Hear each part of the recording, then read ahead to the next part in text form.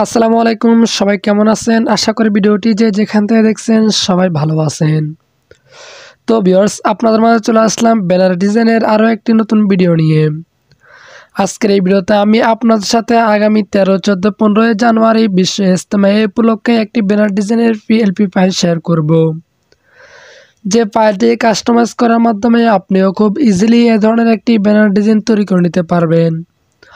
এবং এই ব্যানারগুলো আপনি চাইলে ফেসবুক সহ বিভিন্ন ধরনের সোশ্যাল মিডিয়াতে শেয়ার করতে পারবেন। তো ভিউয়ার্স এই ব্যানার ডিজাইনটির ফ্রি পিএলপি ফাইলটি ডাউনলোড করতে হলে আপনাদের প্রয়োজন হবে চার সংখ্যার একটি পাসওয়ার্ড আপনি যদি আমাদের এই ভিডিওটি শুরু থেকে শেষ পর্যন্ত সম্পূর্ণ মনোযোগ দিয়ে কন্টিনিউ করেন, তাহলে এই ভিডিওর স্ক্রিনে একটি একটির মোট চারটি পাসওয়ার্ড পেয়ে যাবেন। দেন ফাইলটি খুব ইজিলি ডাউনলোড করতে পারবেন। তো ভিউয়ার্স পিএলপি ফাইলটি কীভাবে ডাউনলোড করবেন? তার জন্য আমার ভিডিও ডেসক্রিপশন বক্সে একটি ভিডিও লিঙ্ক প্রোভাইড করেছে চাইলে সেখান থেকে শিখে নিতে পারেন। সো পিএলপি ফাইলটি পিক্সেল অ্যাপ্লিকেশনের মধ্যে অ্যাড করে কীভাবে ব্যানার ডিজাইনটি তৈরি করবেন, সম্পূর্ণ প্রসেসটা আজকে এই ভিডিওতে আমি আপনাদেরকে দেখিয়ে দিব। আশা করি ভিডিওটি শুরু থেকে শেষ পর্যন্ত সম্পূর্ণ মনোযোগ দিয়ে কন্টিনিউ করবেন।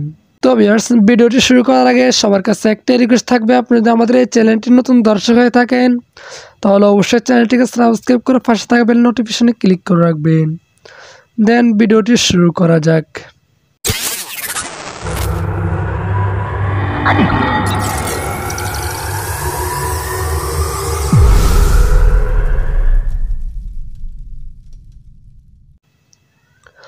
তো ভিউয়ার্স আপনার প্রথমে পিক্সেল অ্যাপ্লিকেশনটা ওপেন করবেন, তারপর আপনাদের সামনে এরকম একটি ইন্টারপেজ আসবে।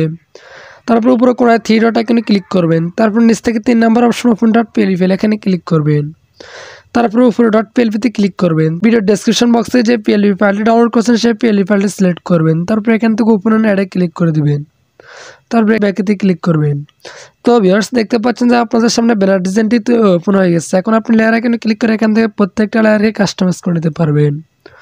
তো ভিউয়ার্স এখন আমি আপনাদেরকে দেখাবো এখান থেকে ছবিটা কীভাবে পরিবর্তন করতে হয়। ছবিটাকে পরিবর্তন করার জন্য প্রথমে লেয়ার এখনই ক্লিক করবেন।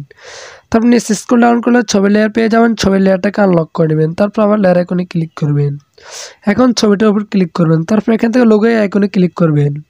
তারপর এখান থেকে রেসিলেক্টে ক্লিক করে দেবেন। তো ভিউয়ার্স দেখতে পাচ্ছেন যে রেসিলেক্টে ক্লিক করার পর আপনাদের গ্যালারিটা ওপেন হয়ে গেছে। এখন আপনারা আপনাদের গ্যালারি থেকে ব্যাকগ্রাউন্ড রিমুভ করে একটা ছবি নিয়ে নেবেন। তো ভিউয়ার্স ছবির ব্যাকগ্রাউন্ড কীভাবে রিমুভ করবেন, তার জন্য আমার ভিডিও ডেসক্রিপশন বক্সে একটি ভিডিও লিঙ্ক প্রোভাইড করা আছে, চাইলে সেখান থেকে শিখে নিতে পারেন। তারপর এখান থেকে সিলেক্টে ক্লিক করে দিবেন। তারপর এখান থেকে আপনি চাইলে ক্রপ করে নিতে পারবেন। তারপর এখান থেকে রাইট বাটনে ক্লিক করে দিবেন। তো বিয়ার্স দেখতে পাচ্ছেন আমাদের ছবিটা এখানে চলে আসছে। এখন ছবিটাকে সুন্দরভাবে ছোটো বড়ো করে কাস্টমাইজ করে নেবেন।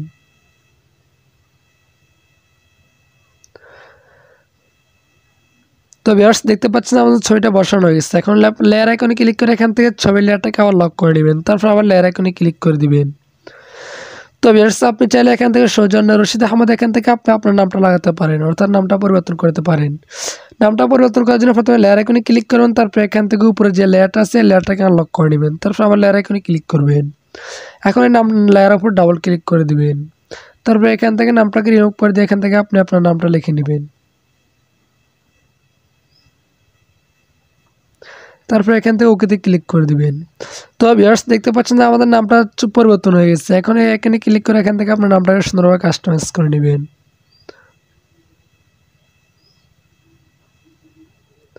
তারপর আপনি চাইলে নামটা সুন্দর সুন্দর কালার দিতে পারবেন। তার জন্য নামের উপর ক্লিক থাকা অবস্থায় এখানে ক্লিক করবেন। তারপর হালকা ডান স্কুল ডান করলে এখান থেকে কালার আইকন দেখতে পাবেন। কালার আইকনে ক্লিক করবেন। তারপর এখান থেকে আপনি চাইলে আপনার মন মতোভাবে কালার দিতে পারবেন।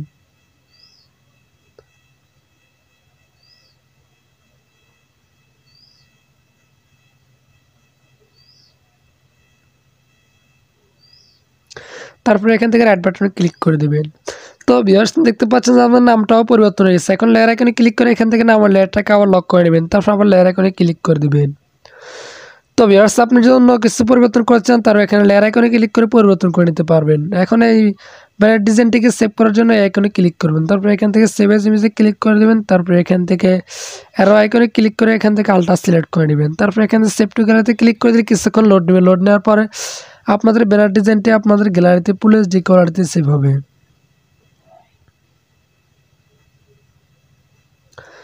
তো ভিউয়ার্স দেখতে পাচ্ছেন আমাদের ব্যানার ডিজাইনটি আমাদের গ্যালারিতে পুলিশ ডি কোয়ালিটিতে সেভ হয়েছে। এখন আপনি চাইলে এই ব্যানার ডিজাইনটিকে প্রিন্ট আউট করে ব্যবহার করতে পারেন, অথবা আপনি চাইলে বিভিন্ন ধরনের সোশ্যাল মিডিয়াতে শেয়ার করতে পারবেন। তো ভিউয়ার্স আজকের ভিডিওটি পর্যন্ত, দেখাবো পরবর্তী কোনো নতুন ভিডিওতে। ততক্ষণ পর্যন্ত সবাই ভালো থাকবেন, সুস্থ থাকবেন, আল্লাহ হাফেজ। আর যদি পিএলবি ফাইলটি ডাউনলোড করতে কোনো প্রকার সমস্যা হয়, তাহলে আমার ভিডিও ডিসক্রিপশন বক্সে একটি হোয়াটসঅ্যাপ গ্রুপের লিঙ্ক পাওয়ার করে রয়েছে। হোয়াটসঅ্যাপ গ্রুপে জয়েন্ট হয়ে জিজ্ঞেস করতে পারেন। আশা করি সমস্যার সমাধানটা পেয়ে যাবেন।